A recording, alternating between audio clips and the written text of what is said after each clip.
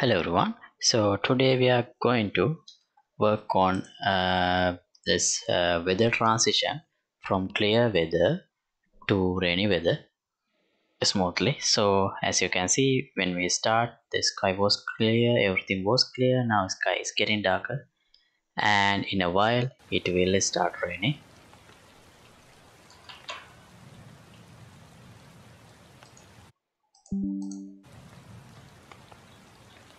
and then after a while now we should see get some thunder as well. So all this rain particle and making the landscape wet and the thunder and sky getting darker the environment light level getting darker. We have already worked on all those things but today what we are going to do is putting together all those systems uh, to smoothly transition from uh, sunny weather to rainy weather.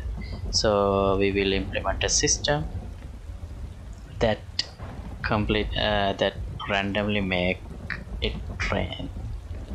So after a while the rain will stop and the cloud will be cleared and everything will be clear and sunny again so yeah as I said now the rain is stopped. And pay attention to the sky. It should get cleared see. It's getting blue cleared and blue again. We can see the sun again. And yeah see now sky is blue. And ground is not wet anymore. It's dry so yeah this is what we are going to work on today. Actually i uh, i did record a 40 minute tutorial video on this but unfortunately uh, the recording got corrupted.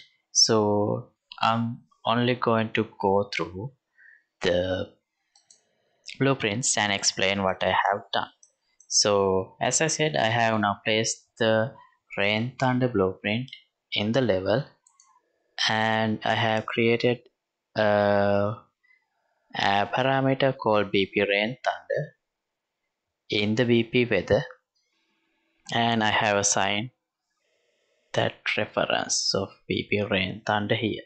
So in the BP weather we are controlling everything. So I have created this I, I am in the beginning I am calling this starter anyway. So what it does is after two seconds we set the atmosphere target value. So this is what something we already worked on previously.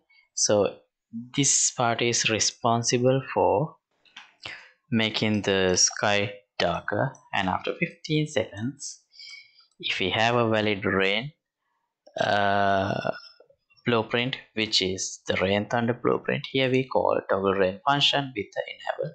So what this is something we created newly. So basically if this is true we set the rain enable to true and activate rain sound and Niagara system. And this part is thunder which we had already worked on. And if we call this with a false we deactivate the sound and the rain particle and set rain enable to false. So basically that's it. That's all I have added newly to this BP rain thunder blueprint. So here I have added the timeline which changes uh, the value from 0 to 1 in 10 seconds. So this value is I call it rain level. I used it. I used it to change the rain level parameter of this material parameter collection from 0 to 0.8 smoothly. So through this timeline. And after 60 seconds so again you can make this random. I stop the rain particle and the sound.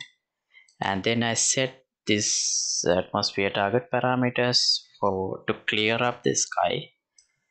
And then using another timeline I change the rain level of the material parameter collection from 0.8 to 0 so that ground plate get cleared again.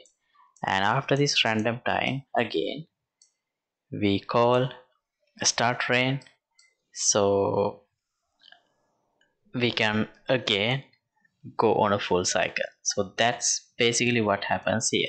So we can go on and on uh, with random rains. So yeah that's basically it. And yeah thanks for watching. As always project files will be available for the download in the patreon page. Link would be in the description below. And if you like to support my work you can get the membership of the patreon club. See you in another episode. Goodbye